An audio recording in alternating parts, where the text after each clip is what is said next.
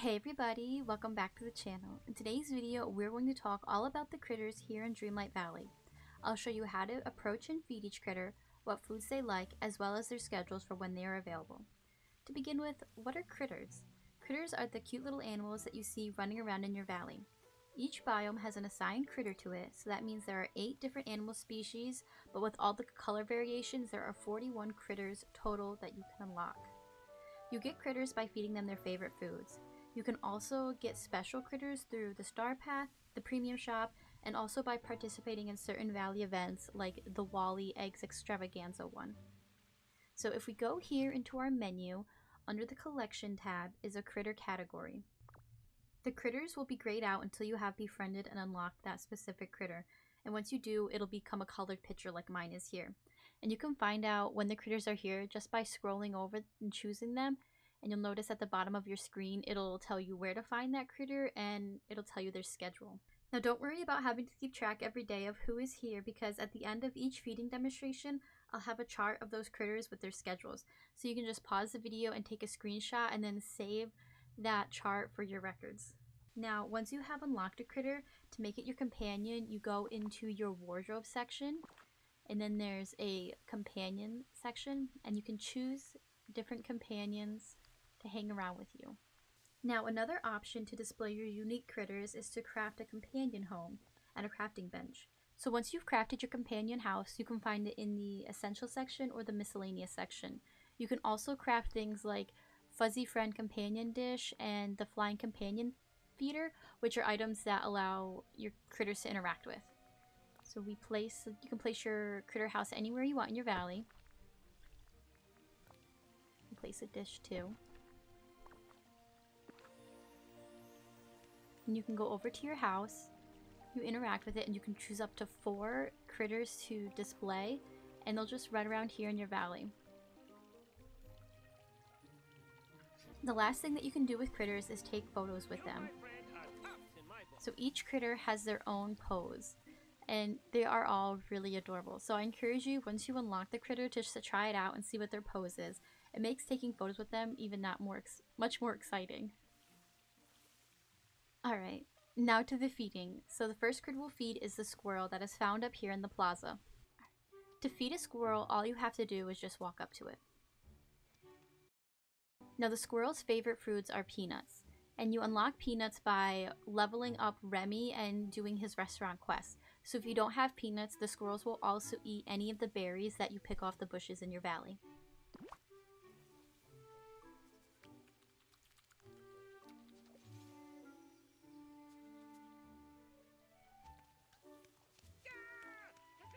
Alright, so next up is the rabbits that are found in the peaceful meadow. So with rabbits, you have to play tag with them. So you approach the rabbit. It runs away. You follow. And it'll do you keep repeating that process until the approach option appears. Rabbits' favorite food are carrots, but if you don't have carrots, they will eat any other vegetable. They just don't like them as much.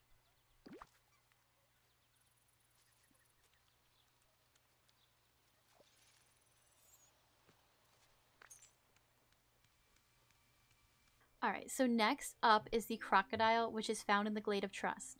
So what you do is you slowly approach them until they raise their head and they look around and once they make eye contact with you, then you start your game of red light, green light. So when their head is raised, stop, and when they lower it, you can approach them. And you keep doing that until you reach them.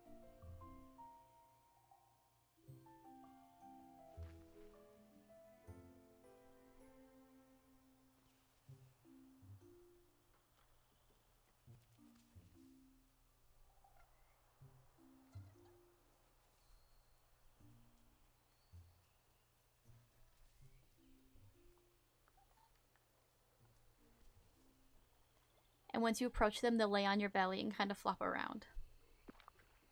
The crocodile's favorite food is lobster, but if you don't have lobster, they also like herring, cod, squid, and tuna.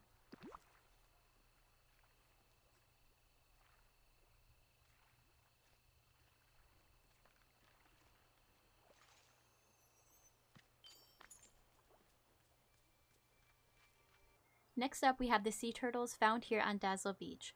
So to feed them and interact with them, all you have to do is run up to them. They'll bury their head in the sand, and then you just wait until they lift their head back out. And once you do, you can feed them.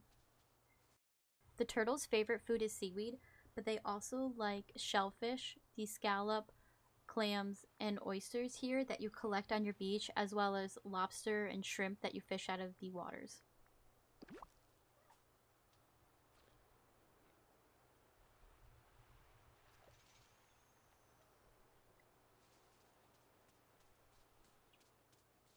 Next up are the raccoons found in the Forest of Valor. So the raccoons you approach the same way you do as the crocodiles. Walk up to them until they sit up, and like they do a stand up actually, and they look at you. Once they sit down, you can approach them, but when they stand up, stop. It's another game of red light, green light.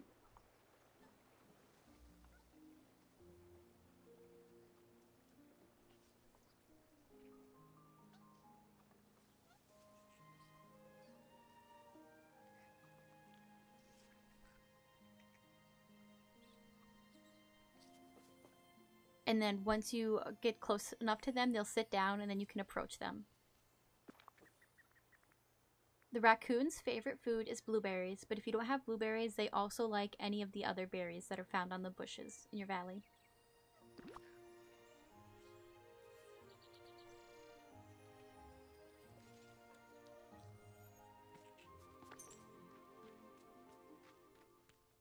So next up are the foxes in the Frosted Heights. So you approach them the same way you do the rabbits, where you play a game of tag. So you just approach them, and they will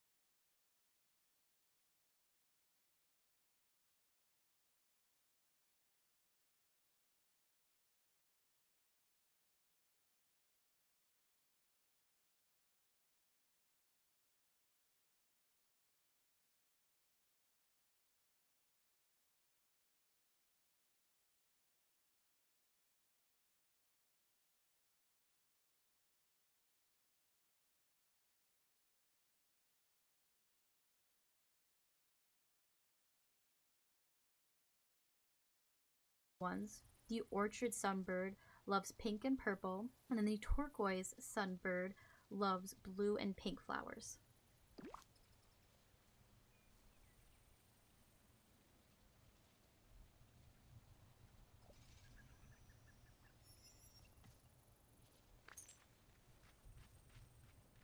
So last but not least, we have our ravens that are found up here in the Forgotten Lands.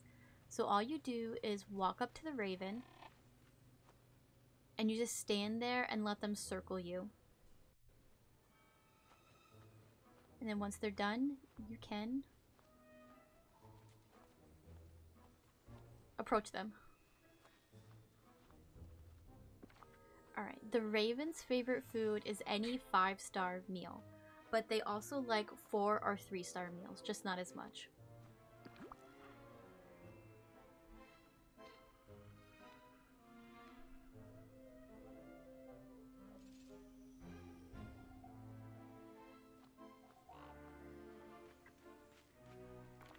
And so that is how you approach and feed all of the critters here in Dreamlight Valley. Now, once you feed them a number enough times, you can unlock them so that you have the option to make them one of your companions. And even after you unlock them, I would continue giving them their favorite foods because when you feed them their favorites, they will drop you items like crystals, dream shards, memory pieces, special motifs, night shards, seeds, and the foxes even drop iron ingots sometimes. So keep feeding them, and there's also uh, Dreamlight challenges or duties that um, require you feeding your animals. But I hope you found this video helpful so that you too can unlock all of the adorable critters that are roaming around here in our valley. Thank you guys so much for watching, and I'll see you all in the next one.